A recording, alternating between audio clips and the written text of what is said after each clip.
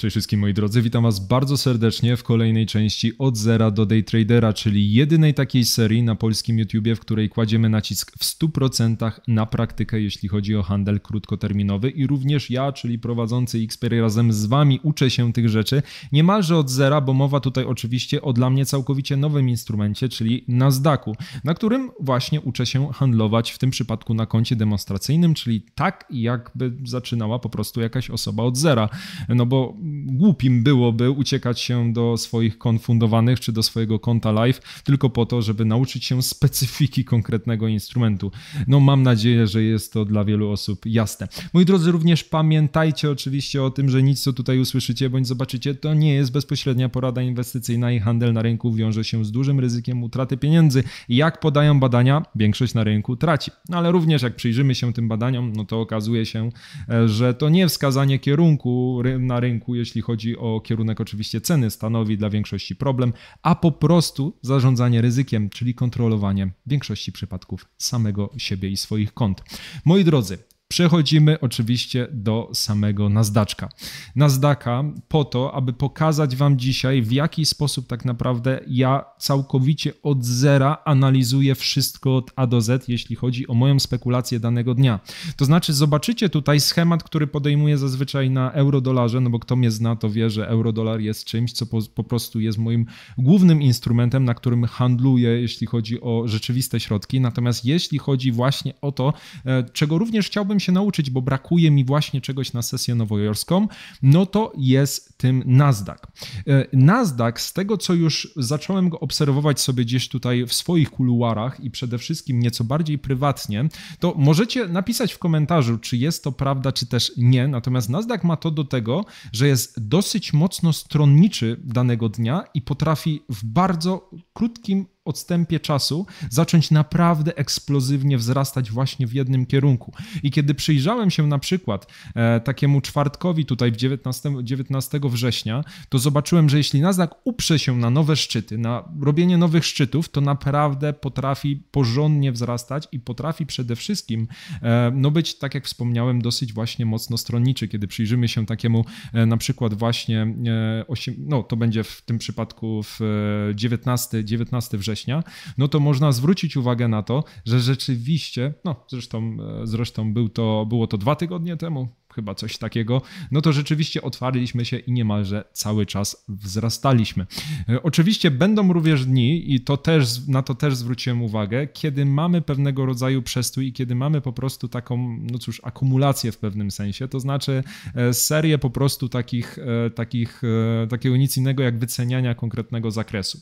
Tak jak w tym przypadku, ale to również jest rzecz, którą zauważyłem na samym euro-dolarze i w ogóle po prostu jest to naturalny sposób, jaki zachowuje się rynek. Jeśli mamy na przykład e, dzień i serię świec wzrostowych, gdzie po prostu mamy serię wzrostową, to później naturalnie bardzo często jest pewnego rodzaju tak zwane choppiness, czyli z języka angielskiego po prostu taka siekana na jedną i drugą stronę. I widać wtedy, że atakujemy konkretne, na przykład e, konkretne fair value gap, czyli konkretne braki między równo, równo, brakiem równowagi między popytem a podażą, czyli takie miejsca, w których po prostu cena szybko wzrosła, no i później atakujemy te miejsca miejsca analogicznie, bądź konkretne właśnie szczyty i wierzchołki, ale bardziej tworząc tego typu zakres.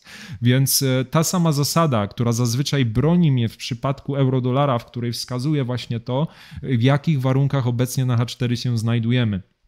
To jest coś, co moi drodzy, dla mnie jest rzeczą kluczową, bo kiedy zwracam uwagę na przykład na to, co dzieje się tutaj, to widzę w tym momencie, że my od raz, dwa, trzy, cztery, pięciu świec tak naprawdę e, H4, czyli od moi drodzy wczoraj, znajdujemy się obecnie w konsolidacji. I ostatni swing low, który jest na H4 i ostatni swing high, który jestem w stanie znaleźć, to są miejsca, to są właśnie swing high i swing lowy tutaj, moi drodzy, z, z tak, które są bardzo blisko. I teraz właśnie konkretnego swing high'a zebraliśmy. I patrząc na tą strukturę, zanim tak naprawdę pójdę na inny wykres, to już jestem w stanie sprawdzić, na inny wykres w kontekście oczywiście inny interwał, to miałem na myśli, to już chcę zobaczyć to, co zawsze szukam na euro, czego po prostu bez, bez czego, moi drodzy, nie ma mowy o tym, żebym podejmował jakiekolwiek, jakąkolwiek pozycję i to naprawdę jest rzecz, która uratowała mi dubsko wielokrotnie i bez której bardzo często się wypieprzałem i trochę nie wiedziałem dlaczego.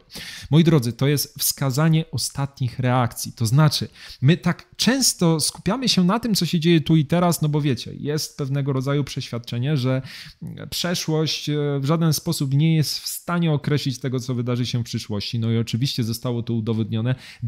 Deterministyczność spekulacji raczej nie istnieje. W ogóle świat nie jest deterministyczny, jest interdeministyczny. To oznacza, że e, po prostu w dużym skrócie nie jesteśmy w stanie w 100% przewidywać przyszłości na bazie przesłanek z przeszłości.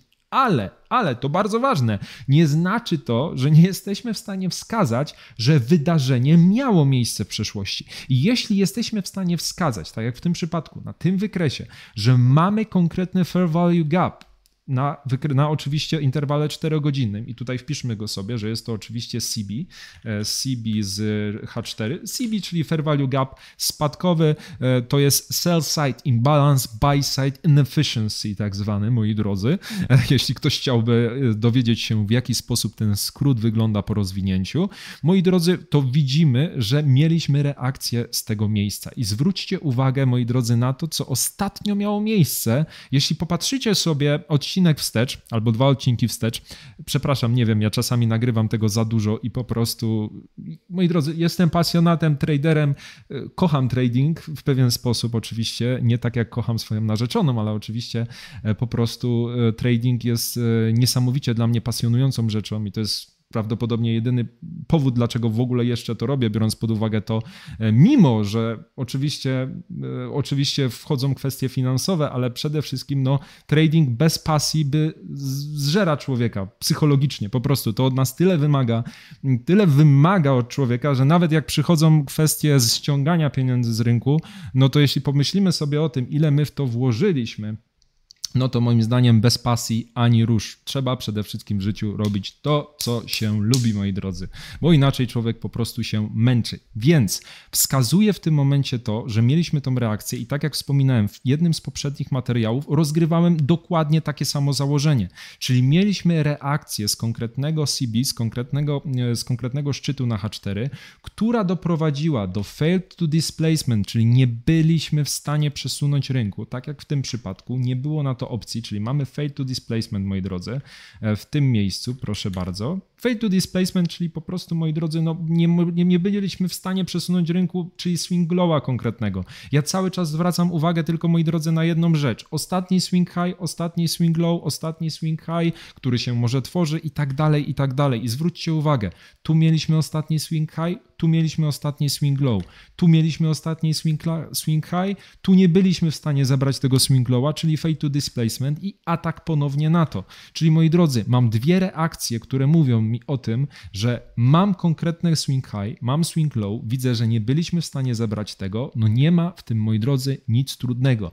I w wtedy na niższym interwale antycypuje oczywiście model AMD, czyli to, że na konkretnej świecy, tak jak w tym przypadku, co już niestety się wydarzyło i strasznie ubolewam, dlatego że gdyby to była ta świeca, która ma miejsce za 4 minuty, to przynajmniej e, to, to wiedziałbym, że prawdopodobieństwo wydarzeń, które chcę mieć po swojej stronie jest znacznie, znacznie większe niż e, sobie, niż, niż tego przede wszystkim oczekuję.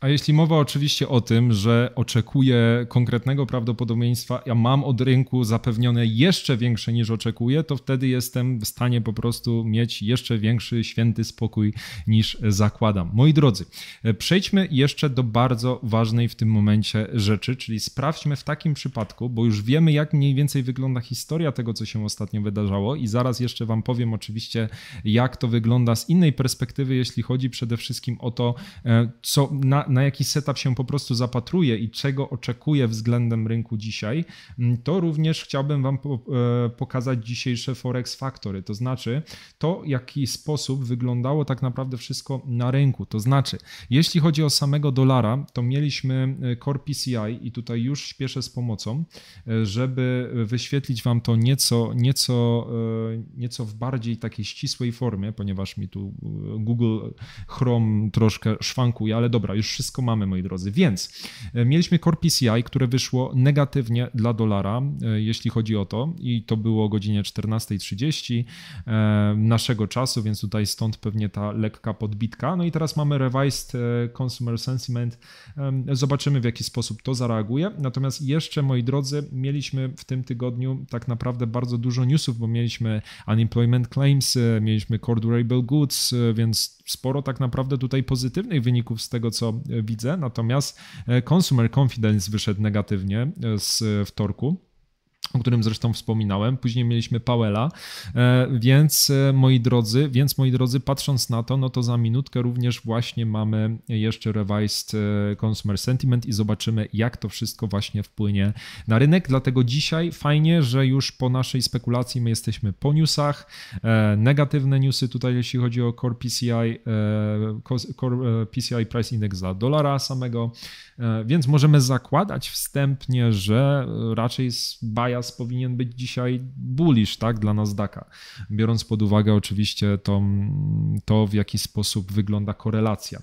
E, dobrze, moi drodzy, więc popatrzmy sobie, jak nam się zamknie ta świeca. Zebraliśmy, czyli zaatakowaliśmy ten szczyt, który wpadł do tego e, CB, e, spowodował fail to displacement, no i teraz po raz kolejny zebraliśmy ten szczyt, zaatakowaliśmy go.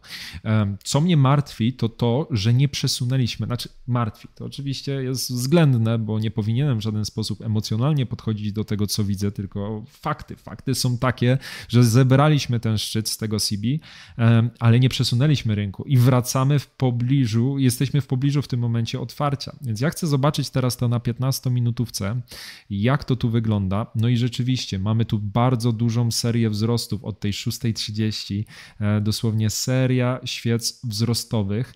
Natomiast no, jest to dla mnie w tym momencie troszeczkę, troszeczkę zagadka, to znaczy, no bo mamy e, market structure shifta, tak jak widzicie z tego miejsca ponownie, e, tutaj market structure shifta, mamy nawet tu fair value gap konkretne na 5 minutówce, e, mamy tutaj equal lowsy nawet konkretne, no i pytanie, czy nie chciałbym, czy nie chciałbym w tym momencie może jednak rozgrywać pewnego rodzaju shorta, mimo tego, że bias wskazuje na, jeśli chodzi o wyniki, wskazywałby coś w kierunku long i wskazywałby oczywiście dalszą wycenę w taki sposób. No natomiast patrząc na to, jak zgasili tą H4, no to mi się nie podoba. Ale spójrzmy jeszcze szybko na wykres daily.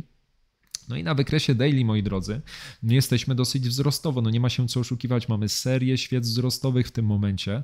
Jesteśmy tak naprawdę, już patrząc na to, e, patrząc na to dzisiaj, mieliśmy konkretną, konkretną fazę, w cudzysłowie fazę manipulacji, dlatego jeśli byśmy spodziewali się dalszych wzrostów, no to już zanurkowaliśmy, bo zrobiliśmy dołek e, w tym dniu i jest pewna sztuczka, która pozwala mi zobaczyć nieco lepiej reakcję w dzisiejszym dniu, jak rynek generalnie dzisiaj e, wyglądał.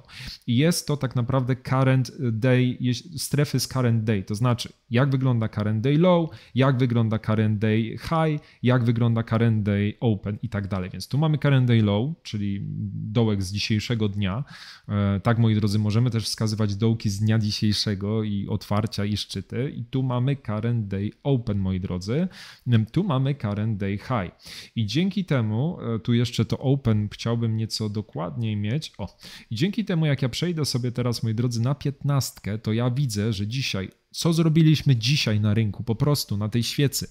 Otwarliśmy się tutaj, zanurkowaliśmy i tak naprawdę zebraliśmy ten szczyt, czyli ponownie tendencja tak naprawdę była do tego, że z tego miejsca nie przesunęliśmy rynku, czyli to jest to fail to displacement na H4, które miało miejsce i w tym momencie e, tak naprawdę zrobiliśmy nowy szczyt. Tylko ten nowy szczyt nie był podyktowany w żaden sposób przesunięciem na wyższym interwale. Sprawdźmy jak na H1. Na H1 zamknęliśmy się powyżej tego. Fair value gap, który jest tutaj, fair value gap, który jest tutaj, definitywnie wskazuje na to, że zamknęliśmy się poniżej 50%, no ale fair value gap utrzymaliśmy. To znaczy utrzymaliśmy w tym momencie tak naprawdę tendencję wzrostową, e, no bo nie w żaden sposób go nie, z, nie zinwertowaliśmy go. To znaczy, że po raz kolejny mamy kolejną przesłankę, która mówi wzrosty, która mówi bullish i mimo, że mamy na piątce w tym momencie market structure shifta, no to to jest jedyna, zwróćcie uwagę, co tu się wydarzyło właśnie. Mamy z daily, popatrzcie na to moi drodzy, mamy z daily, ktoś, ktoś się zastanawia, jeszcze dodam jedną rzecz, jak wskazywać prawdopodobne wydarzenia. Mamy z daily, czyli z jednodniowego interwału informację o tym, że jesteśmy w trendzie wzrostowym bardzo mocno. Mamy z rozłożenia tego na części pierwsze dzisiejszego ruchu ceny to, że zrobiliśmy dołek, fail to displacement na H4, czyli kolejna rzecz i zrobiliśmy nowy szczyt, więc kolejna przesłanka za tym, że jesteśmy w trendzie wzrostowym, plus newsy wskazujące nam na to, że dolar, e, dolar po prostu newsy wskazujące nam na to, że sentyment na dolarze dzisiaj raczej będzie spadkowy, e, no i tylko tak naprawdę market structure shift na piące, jeśli chodzi o spadki. No to chyba musiałbym być naprawdę bardzo, bardzo kontrariańsko podejść do rynku, żeby w tym momencie szukać spadków. Więc najlepsze, co mogę najlepsza decyzja, jaką mogę podjąć w tym momencie, to decyzja o wzrostach. I zresztą zwróćcie uwagę, jakim, jak paradoksalnie teraz, jak zaczynam o tym mówić, to właśnie się to, moi drodzy, dzieje. I teraz e, w ramach oczywiście tego, w ramach oczywiście, moi drodzy, tego, żeby pokazać Wam, że, e, że chcemy w tym momencie podejść do tego jeszcze bardziej racjonalnie, to oczywiście, że chcemy, żeby żebyśmy zobaczyli, gdzie tak naprawdę możemy w dalszym rezultacie oczekiwać wzrostów. To znaczy, gdzie jest miejsce, do którego możemy antycypować dalszy wzrost. No tak naprawdę może być to ten, e, to CB, które jest tutaj na H1, to mogłoby być to CB. Tylko teraz pytanie, moi drodzy, czy z tego CB jesteśmy w stanie złapać coś, co będzie dla nas interesujące. Bo e, przede wszystkim, czy do tego CB jesteśmy w stanie zbudować sobie pomost. ICT często o tym wspominał że warto podejść do price action generalnie w taki sposób, że my chcemy budować pomost, taki most pomiędzy tym, czego, e, co, co znamy, do tego, czego nie znamy, ale do konkretnego miejsca płynności. My jesteśmy tymi bridge builderami. I to jest bardzo, bardzo mocno koncept, który mi się podoba e, w kontekście takim psychologicznym i generalnie w kontekście podejścia do rynku, bo kiedy naprawdę wbijemy sobie do głowy to, że my chcemy poruszać się od płynności do płynności, czyli chcemy poruszać się od reakcji do reakcji, od fade to displacement do ataku na konkretną reakcję, która miała wcześniej miejsce. I teraz znowu, mieliśmy reakcję tutaj, patrzymy, jak zachowujemy się względem co? Tego BC na H1, które mamy tutaj. Czyli zwróćcie uwagę, moi drodzy, co tu się dzieje. Mamy BC na H1 w tym miejscu. Proszę bardzo. BC na H1. BC na H1 w tym miejscu, czy to BC na H1 doprowadzi do ekspansji do tego miejsca, czy to H4 wygra? Bo zwróćcie uwagę, co tu się dzieje w tym momencie, moi drodzy, i to trzeba jasno powiedzieć. Mamy CB na 4-godzinnym interwale, do którego wpadliśmy, i teraz pytanie, czy H1 BC wygra. Jeśli wygra, no to wtedy mamy sytuację całkowicie odwrotną. No ale pytanie, pytanie właśnie, czy to się wydarzy, bo na razie z tego co widzę, no to tak, mam 5-minutowy market structure shift i teraz to, co, to, co kiedyś Wam pokazywałem, że jeśli chcemy, jeśli oczekujemy prawdopodobnego wejścia, to chcemy zobaczyć, żeby 5-minutowy market structure shift, który ma miejsce tutaj, tak, przesunęliśmy rynek, no rynek idzie w taki sposób, przesunęliśmy rynek, zamknęliśmy się poniżej tego low, chcemy zobaczyć, że to samo dzieje się na 15. Chcemy zobaczyć, że wyższe interwały ciągną to za sobą, wykorzystać, wycisnąć to price action jak cytrynę po prostu. Szybka przerwa, moi drodzy, na telefon, niestety bardzo, bardzo pilny, więc chcę po prostu wycisnąć informacje z rynku, tak jak wspominałem, jak cytrynę, to znaczy w taki sposób, że nie zamykam teraz swojej głowy na to, że widzę tylko market structure shift na M5. O, wpieprzam się tylko i wyłącznie dlatego, że go widzę. Nie, moi drodzy, ja chcę zobaczyć, jest to dla mnie nowy rynek. Nie wiem, jak duże prawdopodobieństwo jest tego, że ten pięciominutowy sam market structure shift, który jest tutaj, tak? Czyli ten pięciominutowy market structure shift, ja nie wiem, moi drodzy, na ile on mi pozwoli w tym momencie yy, osiągnąć wysokie prawdopodobieństwo skuteczności. Weźmy sobie to z minut, wyczyśmy sobie troszeczkę ten wykres. E, current day poziomy możemy sobie też w tym momencie tak naprawdę Zostawmy sobie nawet, niech to będzie. Zobaczymy w tym momencie, jak ta świeca tak naprawdę się tutaj, moi drodzy, buduje i że balansujemy przy tym otwarciu tej świecy. Chciałbym jeszcze zobaczyć, jak to się ma względem otwarcia czasu nowojorskiego, to znaczy, e, gdzie mamy tutaj czas nowojorski. Mamy go tutaj, czyli bardzo blisko Current Day Open. Tu jest tak naprawdę, tak możecie zobaczyć, że to właśnie poniżej tej Midnight Open, które tutaj już Wam zaznaczam, czyli 00 czasu nowojorskiego, mamy właśnie problem, moi drodzy, się zamknąć. E, I wywalę Wam teraz wszystkie te current day high, current day low, żeby to było dla Was jak najbardziej jasne. Wyczyszczę już Wam wykres maksymalnie do granic możliwości, żeby po prostu wszystko było dla Was klarowne. Tu mamy midnight, czyli jeśli spodziewamy się wzrostów, to chcemy oczywiście w pobliżu open właśnie midnight kupować. Jeśli spadł w pobliżu e, Midnight sprzedawać, albo najlepiej pod bądź nad, w zależności czy Wiecie o co chodzi. No, Power of Free AMD, wielokrotnie o tym wspominałem. Jeśli oczekuję spadków, e, to w najlepszym przypadku chciałbym sprzedawać ponad albo w pobliżu. No i widzimy teraz w tym momencie, że no niestety ale to, co się tu wydarza, wskazuje nam tak naprawdę na to, że troszeczkę rynek szuka czegoś, czegoś odwrotnego tutaj e, do naszych założeń. Bardzo, bardzo mocno gaszą te, świece. Zwróćcie uwagę, zadajcie sobie pytanie, jak obserwujecie czyste price action. Zadajcie sobie pytanie, jak chcecie zinterpretować tą świecę, nie na bazie tego, że o, knot, tylko na bazie tego, zwróćcie uwagę, ta świeca już wam coś mówi. Już mówi wam o tym, że mamy potężną tutaj, w cudzysłowie, jak na 15-minutówkę, mamy zrzutę. Po prostu zaatakowaliśmy to CB mniejsze, które jest tutaj i z tego miejsca dosyć mocno odbiliśmy, trafiając jednocześnie oczywiście, moi drodzy, do tego order bloka, który został utworzony w tym miejscu, co dotyka. No cóż, moi drodzy, no wydaje mi się, że jest to naprawdę dosyć mocno precyzyjne, precyzyjny język, jaki daje nam Michael na kanale Dana Cycle Trader, moi drodzy. Więc zwracając uwagę na to, co się tutaj dzieje, to widzę, że bardzo mocno gaszą tą świecę, to znaczy polecieliśmy po zlecenia sprzedaży, no i zgaszonko, algorytm wycenia to coraz, coraz niżej. Ale czy dla mnie tutaj jest jakiś sens na wejście, moi drodzy? Czy ja tu coś tym momencie widzę? No mamy to fail to displacement, no na H4 też nie byliśmy w stanie zamknąć się powyżej tego swing high'a, więc logicznym jest, że to, co bym mógł teraz znaleźć również pod kątem spadków, no to to. No ale znowu to, co wam powiedziałem to, co moi drodzy Wam powiedziałem, że nie chcę, nie chcę grać tak bardzo przeciwko przesłankom, które mówią mi, że jesteśmy w trendzie wzrostowym, mamy dolara, który wyszedł spadkowo. Sprawdźmy sobie jeszcze reverse UOM consumer sentiment, który natomiast wyszedł wzrostowo, więc teraz zaczyna się, moi drodzy, przesłanka do tego. Jest jedna przesłanka, która mówi nam, że no, tutaj troszeczkę mamy sentyment wzrostowy.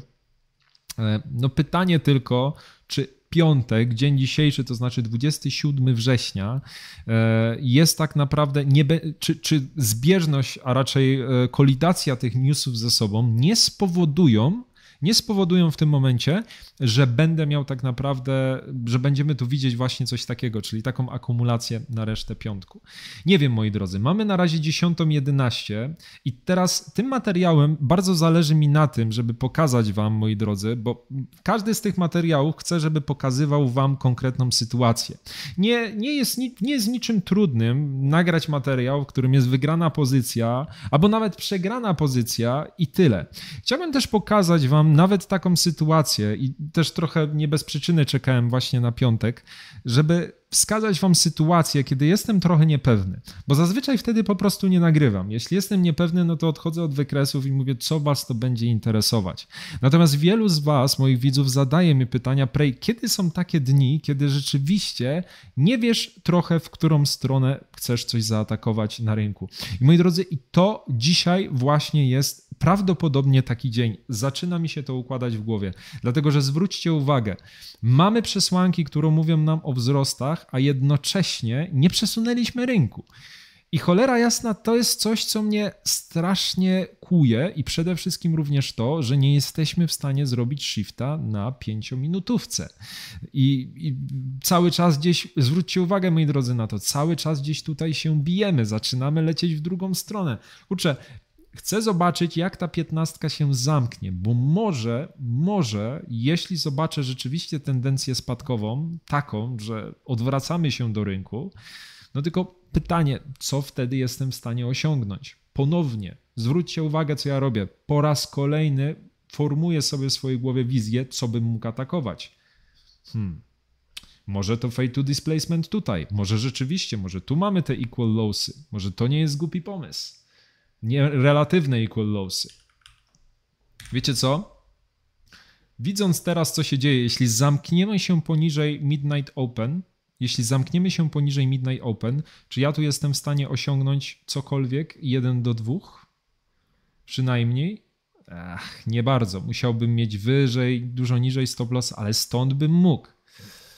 Dobrze, wiecie co? Pokażę wam w tym momencie, pokażę wam w tym momencie w takim razie e, jedną ciekawą rzecz, jaką jesteśmy w stanie zrobić, tylko muszę szybciutko tutaj to ogarnąć i połączymy się z tak zwanym paper trading, bo możemy również handlować na koncie demo, jeśli chodzi o, jeśli chodzi o um, oczywiście MetaTradera, ale w samym TradingView też mamy opcję handlu i chciałbym też, e, moi drodzy, dzisiaj na nią wskazać, dlatego że możliwe, że właśnie ją dzisiaj wykorzystamy, jeśli jeśli nadarzy się ku temu okazja. Tylko muszę zobaczyć, no znowu, piętnastka nie chce się zamknąć poniżej. Jasny gwint. No jest to właśnie dla mnie sytuacja, w której cały czas widzę, zwróćcie uwagę, co się dzieje. Nie zamykamy się poniżej tego low, nie zamykamy się poniżej tego high. Co już mam pomysł na to, co mogę grać i co może wydarzyć się na rynku, bo te relatywne equal lowsy teraz mi wpadły, po prostu wpadły w moje lwie oko tutaj na rynku i strasznie mi smacznie zaczynają wyglądać. Widzicie, jeszcze przed chwilą mówiłem, jakim bym musiał być kretynem, żeby antycypować spadki, kiedy mamy tyle przesłanek na wzrosty, ale już zobaczyłem, że mamy w newsy, następne newsy, które są wzrostowe dla dolara i jeszcze widzę, że rzeczywiście rynek zaczyna wyceniać się coraz niżej. I nagle pomysł na bycie kretynem, żeby szukać spadków, i zobaczyłem jeszcze relatywne equal zaczyna się odwracać. Zaczynam zbierać nowe informacje z rynku, a nie na siłę wymuszać na rynku czegoś, co, co, co może już nie być dzisiaj w grze. Mam nadzieję, że to jest dla wielu jasne i nie wychodzę tutaj na osobę całkowicie odklejoną psychicznie, która w przeciągu pięciu minut zmienia e, swoje podejście do rynku, ale że widzicie po prostu, że ja cały czas zbieram informacje. Przetwarzam wam teraz swojej czachy na mój język to, co widzę i to, z czym bije się w swojej głowie. To jest naturalny proces e, tradera. Jeśli komuś się to nie podoba, no to przykro mi, ale może trading nie jest dla niego. Tak to wygląda. E, dobrze, moi drodzy. W takim przypadku, jeśli zamkniemy się poniżej open na jakikolwiek ze świec, ja w tym momencie odpalę sobie shorta, odpalę sobie shorta w tym momencie, nawet na tym paper trading dzisiaj, e, już bez, bez tak naprawdę tutaj e, tłuczenia się z MetaTraderem, e, odpalę sobie paper trading w tym momencie i pokażę Wam, że możemy sobie tutaj dać buy sell buttons nawet, instart order placement może być, dajmy sobie tutaj, nie wiem, 20 7 załóżmy, nie wiem czy będę mógł nawet za tyle otworzyć. E, zobaczymy jak to działa, dawno z tego nie korzystałem. Tak dla odmiany. Później znowu wrócimy na beta tradera. Niech się coś dzieje, niech będzie też troszeczkę na TradingView. Zobaczymy jak jeszcze swego czasu jak handlowałem na koncie fundowanym jednym z, w którym miałem przez Tradeovate połączenie, to, to handlowałem na TradingView. Później, teraz też poniekąd na, w jednej firmie korzystam z TradingView, ale na wewnętrznej ich już e, platformie. E, bądź po prostu, tak jak mówię w przypadku CFD, e, no to po prostu bez, bezpośrednio w MetaTraderze. No, z różnych narzędzi tak naprawdę korzystam. Wszystko sprowadza się do tego, że każde ma plusy i minusy. W TradingView handel wielokrotnie wkurzał mnie pod kątem modyfikowania czasem pozycji i wielu innych rzeczy, e, bądź połączenia czasem z traderem. Nie mówię z, z brokerem, nie mówię tutaj stricte o Tickmilu nawet, bo, bo w Tickmilu jeszcze na CFD nie ma takiej opcji, żeby teraz się połączyć podłączyć bezpośrednio z TradingView. Mm, natomiast, e, natomiast, e, natomiast mm, wiele nie mogę powiedzieć. Może, może, e, może, może, może w następnych materiałach będę mógł coś więcej powiedzieć. Zobaczymy. Zmieniając, moi drodzy, temat.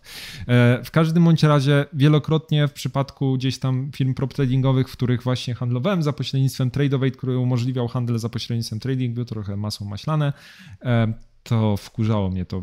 Dużo rzeczy się tam działo, ale pod kątem paper tradingu to można się pobawić. Dobra, jeśli zamkniemy się poniżej open, atakuje te equal lowsy. atakuję te equal lowsy i wtedy po prostu oczekuję, że będziemy mieli, będziemy mieli już mocną, mocną reakcję. I jak będziemy zawracać, to analogicznie, analogicznie będę, będę uciekał wtedy po prostu z rynku, ale zaczynam zauważać, że prawdopodobnie jesteśmy dzisiaj mimo wszystko w tendencji spadkowej na ten piątek i po prostu dołączę się do rynku. I dołączę się do rynku w taki sposób, że wtedy, jeśli bym szedł tutaj, no to mój stop loss byłby w okolicach, no tak, no byłby w tej okolicy, no, no nie ma się co oszukiwać. No tylko mówię, muszę zobaczyć chociaż jedną świecę, bo, bo ta jedna świeca powie mi o tym, że o, zmieniamy, zmieniamy charakter trendu, zmienia, o, change of character, ktoś by mógł powiedzieć. Mamy po prostu shifta w strukturze rynku i, i mielibyśmy pięciominutowego shifta w tym miejscu, jeśli by tak się wydarzyło. Zobaczymy, zobaczymy moi drodzy. Wtedy sobie odpalimy mm, sell by market z TradingView i zobaczymy jak to wszystko działa w, z paper, paper tradingu na TradingView moi drodzy. Dobrze, więc e, tak to wygląda w dniu dzisiejszym, moi drodzy. To na przemyśleń, to na przesłanek. Zobaczymy. Zostało 45 sekund. Zostało 45 sekund. No te relatywne equal lowsy, moi drodzy, po prostu jak ja coś takiego widzę, a nie widzę wyżej żadnych fajnych equal highsów, a sweepnęliśmy jeszcze to. Moi drodzy, podoba mi się to. Podoba mi się to, że Nasdaq często ma te equal highsy i equal lowsy. Zaczyna mi się to podobać. Dobra, ciśniemy, jeszcze nie, czekam na, czekam na zamknięcie, czekam na zamknięcie, moi drodzy, i zobaczymy, jak nas później rynek wywiezie. E, 10 sekund. Uf. O ile, o ile będę miał wejście, bo jeśli naprawdę mocno gdzieś tu zrzucimy, to dobra, moi drodzy, 3, 2, 1, może na podbitce tamtej. O, okej, okay, dobra, jestem w pozycji na sell. E, uff, jak tu otwarłem, jaką pozycję tu otwarłem, moi drodzy, potężną. Dobrze. E, no to trzymając się zasad, no nie patrzcie oczywiście na te kwoty, które tu są, bo jest to oczywiście paper trading. Natomiast chodzi o oczywiście nauczenie się tego, w jaki sposób Nasdaq się porusza. Mogę przesunąć na 1 do 2, mogę przesunąć tutaj. Tutaj no, nie obliczam pozycji dzisiaj ze względu na to, że jest to po prostu nauka w tym momencie setupów na Nasdaqu tak naprawdę. Dobrze, 1 do 2 osiągnę w tym miejscu. No, słuchajcie, kiedyś mieć takie konto fundowane, żeby jednym tradzikiem sobie robić 20, 29k, nie? Na przykład, albo takie konto już rzeczywiste, to by było w ogóle baje, to by była bajeczka. No lepiej byłoby, w idealnym przypadku byłoby, gdybyśmy mieli swing e, naszego stop lossa tutaj, tak? Czyli gdybyśmy mieli go w, wtedy no, mamy jeden do jednego ponad i to by był idealny przykład, no bo wtedy wiemy, że ta reakcja, która miała tu miejsce, nie, nie daje nam w tym momencie reakcji z um, inaczej. Reakcja, która miała miejsce na 15, e, daje nam przeświadczenie o tym, że mamy stop lossa w miejscu, w którym jeśli rynek się odwróci, to już odwróci się tak, że to mój pomysł na zaatakowanie relatywnych equal lowsów nie ma kompletnie sensu. E, I to by było idealne. No to by był taki przykład, no tylko że to by było jeden do jednego, to by było jeden do jednego, e, no i to znowu nie byłoby czymś, co w żaden sposób podejrzewam, że dla większości osób byłoby satysfakcjonujące i przede wszystkim również dla mnie. Jednak wolę, wolę zdecydowanie 1 do 2.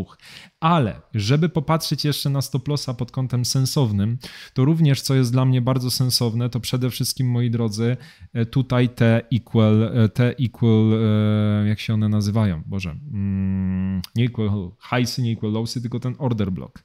No trochę jesteśmy tutaj wąsko. Niestety jesteśmy tutaj, moi drodzy, troszeczkę, troszeczkę zbyt wąsko i to mi się nie podoba za bardzo, moi drodzy. To mi się za bardzo nie podoba, no ale przesuwam stop lossa już z powrotem na miejsce, żeby nie było. Przesuwam go na 1 do 2. Wolałbym mieć stop lossa tutaj, ale przesuwam go zgodnie z, z, założeniem 1 do 2, bo rzuciłem się, na, rzuciłem się w trade'a, więc chcę mieć realny przykład tego, jakbym się rzucił i czy Nasdaq pociągnie, czy będzie zawracał. I trudno. I trzymam to tak, jak to założyłem. Niestety, um, jeśli dostaniemy w dupę, no to dostaniemy w dupę. Na razie ta piątka, equal lowsy, nie podoba mi się to. Totalnie mi się to nie podoba i prawdopodobnie zaraz nas wywalą. Nie ma się co oszukiwać. Jest na to duże prawdopodobieństwo, biorąc pod uwagę, że mamy te equal lowsy. Natomiast Jedyną rzeczą, którą się pocieszam, jest to, że mamy tutaj tego order bloka, e, do którego teraz się odnieśliśmy. Więc to jest troszeczkę rzecz, którą, na którą się pocieszam, którą się pocieszam. Natomiast definitywnie, definitywnie, moi drodzy, wolałbym mieć stop lossa dziś wyżej i mądrzejszym było poczekać na wejście tutaj, gdzieś właśnie na retracemencie w te okolice i wtedy mieć możliwość położenia stop lossa tak, jak powinno być w kontekście 15 i w kontekście ostatniej reakcji. To by było eleganckie. Natomiast nie ma źle, bo i tak, jeśli wylecimy gdzieś tam wyżej, to już e, ten shift, który jest tutaj, to nie ma raczej większość, większego sensu. Więc pozostaje nam tylko czekać, moi drodzy, na to, aż w jaki sposób, w jaki sposób całość, e, całość się nam tutaj przedstawi. I, I moi drodzy, no tak jak widzicie, z e, trade'a, który miał, e, z odcinku, który miał wskazywać na, na brak jakichkolwiek decyzji, nagle jesteśmy w pozycji, bo zobaczyłem sensowną dla mnie ilość przesłanek w, odwrotnym kierunku. I to jest rzecz, która zaczyna mi do mnie przemawiać w dzisiejszym dniu. Tak jak mówię, a najbardziej to relatywne equal losy to jest rzecz, którą na euro bym targetował po prostu z miejsca, bo tutaj dwukrotnie. To jest, to jest moi drodzy, trochę tak, że jeśli cena odbija się gdzieś e, tak blisko siebie, dwukrotnie niemalże, no to naprawdę w tym momencie, naprawdę w tym momencie, moi drodzy, jest to rzecz, która mm, aż, aż, aż się chce to schrupać. aż, aż chce, się tam, chce się tam tej profit dać, bo tam, tam, moi drodzy, jest płynność. Tam jest płynność, w tamtą stronę rynek prędzej czy później podejrzewam, że dzisiaj trafi. Nawet jak nas wywali z pozycji, to prędzej czy później trafi i to będzie nauczka, nawet pewnie i lepiej, gdyby tak było, dla mm, kontentu merytorycznego, żeby mnie wywaliło, bo widzicie, co dzisiaj zrobiłem pod jednym kątem. Nie popatrzyłem na prawidłowe umiejscowienie stop lossa, e, tylko poleciałem od razu w to, że po prostu zaczynam zauważać zmianę na rynku. No i co mamy? piątkę kolejną. Ta piętnastka. Mm, ajajaj, no nie wygląda to, moi drodzy, za dobrze. Rynek dzisiaj wygląda w paskudny sposób pod tym kątem, że niestety wyciągamy obydwie strony. No wygląda to tragicznie. No wygląda to tragicznie, o czym zresztą powiedziałem wcześniej, no ale siedzę w tradzie. E, w demo, bo demo, ale boli i tak trochę, jak się dostanie w dupę, nawet jak, jak jest to demo, oczywiście, moi drodzy. Natomiast trudno, będziemy mieli lekcje. I to jest, uważam, że e, bardzo wartościowe. Bardzo wartościowym jest wyciągać lekcje, bo zwróćcie uwagę, moi drodzy, na, na to, o co chodzi. Sęk jest w tym, że jeśli pojawiają się sytuacje na rynku, tak jak dzisiaj, tak jak tutaj, bitwa myśli, czy powinienem, czy nie powinienem, czy, czy warunki są odpowiednie, jakbym nie mógł grać e, longa, jak wszystko wskazuje long. Później zmieniam informacje na to, e, podejście na to, że short. Wskazuje również na to, że rynek waha się i nie jest za bardzo ciekawy, jeśli chodzi dzisiaj o warunki, które są zaprezentowane. Później, moi drodzy, wskazuje na, e, wskazuje na to, że mamy dużą zmienność, która wchodzi. Kiedy wejdę, odpowiednio wszedłem po zamknięciu się poniżej, poniżej Midnight Open, więc na plus. Natomiast kompletnie z łba wypadło mi to, że mój stop loss musi mieć sens. Mój stop loss musi mieć sens. I to jest, moi drodzy, rzecz, która dzisiaj wynikła troszeczkę przypadkowo, że nasz stop loss leży e, w okolicach order bloka, który się tu znajduje, ale nie ma się co oszukiwać. E, to był błąd z mojej strony. I moi drodzy, tak wygląda właśnie, w ten sposób wygląda zbytnie szybkie reagowanie bez porządnego planu. Tak właśnie, moi drodzy, się nie robi. Niezależnie dzisiaj od rezultatu, to bardzo ważne, że dzisiaj to zapiszę w swoim journalu w kontekście naszego rozgrywania na zdaka w tej serii. E, I, i, I tyle, moi drodzy, i tyle po prostu. I zapiszemy sobie to. Oczywiście ja to przeliczę później na, e, na nasz wynik z MetaTradera, e, biorąc po prostu, no, chcę, żeby też troszeczkę się tu działo i pokazać, pokazać wam, że mamy możliwość rozgrywania tego na, w, w przypadku paper tradingu na przykład, tak? E, na TradingView. E, natomiast e, definitywnie, więc po prostu obliczymy sobie to na standardowego losa na, na MetaTraderze I, i tyle. Dajcie znać, czy testować właśnie w tej serii tak różne, różne rzeczy do kont demonstracyjnych, żebyśmy sobie po prostu bawili się tym, gdzie się lepiej, gdzie się lepiej tego typu rzeczy testuje. Tutaj na pewno w TradingView oczywiście plusem jest to, że mamy wejście jak klikniemy, no to jest, to jest jasne, ale to na większości kont demo tak to wygląda, nie ma się co oszukiwać. E, ale może następnym razem, może coś innego bym jeszcze przetestował tutaj przy Was, dla Was. Czemu by nie? Dobrze, moi drodzy, jestem z powrotem. Mój kot zrobił. No i akurat, akurat stop lossik. Więc widzicie, moi drodzy, niestety dzisiaj stop loss. Niestety, bo tak jak widzicie, mieliśmy tutaj market structure shifta, ale no zakończył on się tym, że moi drodzy, nie mamy konkretnego, nie mieliśmy dalszego konkretnego e, shifta na 15. Sfailowaliśmy to. No i tak to niestety, moi drodzy, właśnie w przypadku takich warunków wygląda. I co teraz robimy? Ja chcę to zapamiętać najbardziej jak tylko potrafię. Zapisujemy to oczywiście e, jako stratę, e, stratę 1% w przypadku tego startowego kapitału, czyli tam 1000 dolarów w naszym journalu i zrobimy sobie download image tego. Chcę jeszcze mieć obrazek na H4 tego, że mieliśmy tutaj to fail to displacement e, i w jaki sposób rynek się teraz zachowuje, że jest piątek, to na pewno chcę sobie zapisać. Dobra, tego nie muszę nawet mieć. Relatywne equal lowsy też już tu nie muszę mieć. Tego też nie muszę mieć. I tego też tu nie muszę, chociaż inaczej. Wiecie co, zrobimy sobie też na H1. Zrobimy sobie też na H1 screena i zrobimy sobie też na H4 screena. E, w takim przypadku, proszę bardzo, robimy też na H4 screena. OK. I teraz, dlaczego o tym wszystkim, dlaczego to robię w taki sposób? Bo chcę wbić sobie do głowy, że dzisiaj był piątek, zapisać odpowiednio te wszystkie przesłanki, które mówiły mi o tym, że nie było sensu dzisiaj szukać konkretnych rzeczy, a jeszcze widzę jedną ciekawą rzecz. Zwróćcie uwagę, że mamy tutaj ściętą tą świecę i właśnie teraz to zebraliśmy. Właśnie teraz zebraliśmy low tej świecy, moi drodzy. To też jest interesujące właściwie, co się potem wydarzy w tym momencie, ale to dobrze, dobrze, moi drodzy. Więc przechodzimy sobie teraz na, e, na mój e, oczywiście journal, który macie wszyscy e, dostępny jak zawsze w opisie zresztą. Więc jesteśmy w moim journalu. Aha, czekajcie, bo w zasadzie to nie jest ten journal, który chciałem mieć. Coś mi tutaj, coś mi tutaj, coś mi tu śmierdzi. Nie widzę swojego journala. Hmm. E, musicie dać mi sekundkę. Dobrze, moi drodzy, jesteśmy w moim journalku. Tutaj wszystko się zgadza. Bias. Jaki mieliśmy dzisiaj bias? Mieliśmy bullish, później przeszliśmy na bearish. E, psychologia. Jak psychologicznie dzisiaj? Nie wiem szczerze mówiąc, jak się ocenić, bo trzymałem się zasad, jeśli chodzi o stop lossa, to na plus. E, nie trzymałem się zasad odnośnie tego, że na euro na przykład mam takie zasady, że jeśli widzę właśnie taki choppiness na rynku i widzę, że coś mi się zaczyna nie zgadzać, to jak najszybciej szybciej uciekam, bo wtedy wiem, że po prostu nie jestem w stanie wskazać prawidłowej strony, po której chciałbym się znaleźć.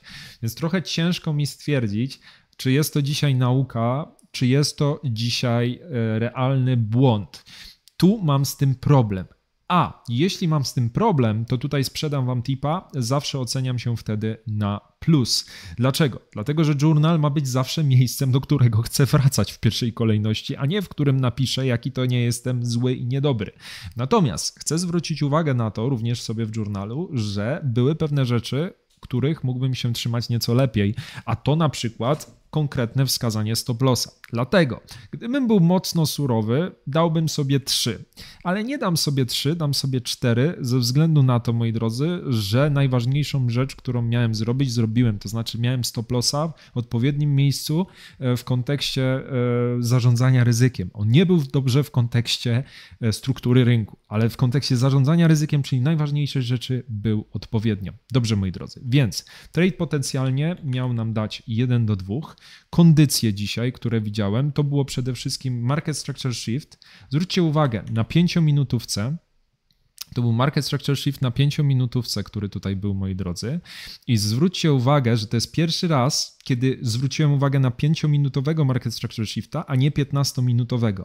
I jeśli ktoś myśli, jak, że po co mu journal, właśnie, moi drodzy, po to. Zwróćcie na to tylko uwagę, jak, jakie to jest istotne e, pod tym, e, pod tym względem. Dobrze, moi drodzy. Co jeszcze, co jeszcze widziałem? Więc tego Market Structure Shifta widziałem um, relatywne, e, oczywiście equal lossy, które tutaj, które tutaj miały miejsce.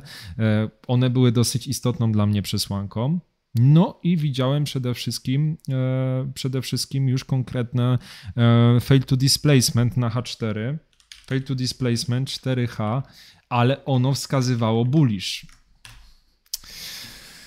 No, Musimy to zapisać. Niestety, dupa, dup, dupka trochę boli. Dobrze, moi drodzy. Core Price PCE Price Index dzisiaj miał miejsce. Dobrze, w takim razie zapisujemy sobie to. Core Price PCE Price Index i chcemy, żeby to było oczywiście na czerwono, bo to jest istotny news. E, I później miał jeszcze miejsce Reverse e, Consumer Sentiment. Dobrze. Więc zapiszmy to sobie. I ten reverse consumer e, confidence jest na pomarańczowo. I teraz najważniejsza rzecz, czego się nauczyłem. Po pierwsze, e, nawet w inny sposób to, moi drodzy, zapiszmy.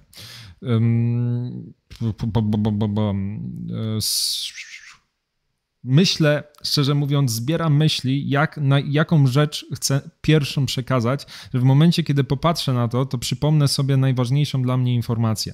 A najważniejszą dla mnie informacją było, jest to, że e, żeby trzymać się, o, wiem co chcę, najważniejsza dla mnie przede wszystkim rzecz, że e, brać znacząco pod uwagę 4H, jeśli, jeśli. Czemu mi się takie rzeczy robią? Aha, dobrze, bo bez polskich znaków muszę, bo oprogramowanie mi tutaj świruje. Bez, jeśli chodzi o si, musimy jakoś dać. Brać znacząco pod uwagę 4H, e, jeśli e, chodzi o, jeśli chodzi o strukturę i przede, i przede wszystkim fail to displacement oraz, e, z, oraz e, to, czy znajdujemy się w odpowiednich warunkach, jeśli chodzi o tendencję, tendencję wzrostową lub spadkową, a nie tak zwana siekana. XD.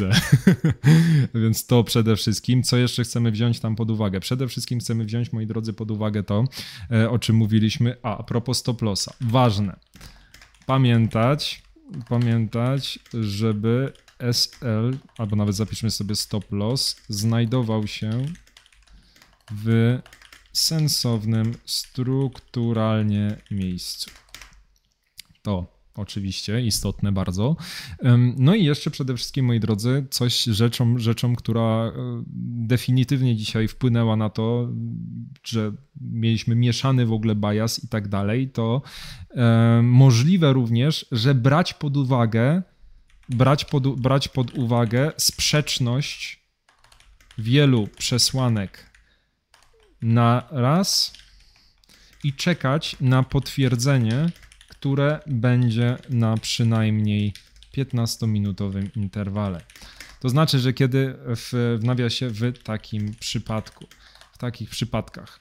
To znaczy, chodzi mi po prostu głównie o to, żeby pamiętać, moi drodzy, o tym, że jeśli mamy sprzeczność tak wielu rzeczy, to żeby mieć z tyłu głowy, że chcę jednak zobaczyć tą piętnastkę. To, o czym wam mówiłem, że piętnastka też pociągnie, a później zrobiłem co innego, bo zamknęliśmy się tylko poniżej, poniżej, e, poniżej Midnight Open, prawda?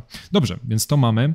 E, odpalamy sobie to jeszcze i wrzucamy tutaj oczywiście w same, same screeny, bo to jest najważniejsze. A, będę miał je w downloads, jeśli zrobiłem to na jeśli zrobiłem to na bu, bu, bu, na kompie, jeśli chodzi o pobranie z tradingu, więc tak. E, pierwsze oczywiście samą pozycję. Chcę mieć tutaj samą pozycję, 5-minutowy market structure shift, e, który mi się gdzieś tam w ogóle, o, już mi się załadował lepiej. E, no i później oczywiście następny widok z H1 i chcę mieć widok z e, H4, moi drodzy. To jest coś, no zwróćcie uwagę, nawet jak tutaj to widać bardzo mocno, to H1 Mm, jak widać tutaj, że mamy z fade to displacement, tutaj również nie przesunęliśmy rynku. Tu tak, tak, tacy jesteśmy w takiej jednej wielkiej konsolidacji. No niestety, no właśnie. No i to jest to. Konsolidacja na H4, run away. E, na euro wygląda to tak samo i tu już wiem, że na NQ podobnie trzeba na to patrzeć, że e, i nawet sobie to zapiszę, uważać tak samo jak w przypadku euro na konsolę na 4H. I nawet bym sobie to pogrubił, szczerze mówiąc. Nie wiem, czy mam tu taką możliwość. Mam. Pogrubił i podkreślił i jeśli chodzi o stop lossa, stop loss znajdował się w sensownym strukturalnie miejscu, bo dzisiaj pod tym kątem dałem dupy. Dałem naprawdę pod tym kątem dupy. Dobrze, moi drodzy. To tyle w dzisiejszym materiale od zera do daytradera, moi drodzy. Tak jak widzicie, robota, robota, robota, robota. E, czasem, czasem lepiej, czasem gorzej. Widzicie to, co się dzieje w przypadku, kiedy szukamy konkretnych okazji. Nie zawsze będzie będzie idealnie, ale co jest najważniejsze, dobrze zarządzamy ryzykiem, bo to to długoterminowo ratuje nam dubsko. Trzymajcie się, bądźcie bezpieczni. Yo!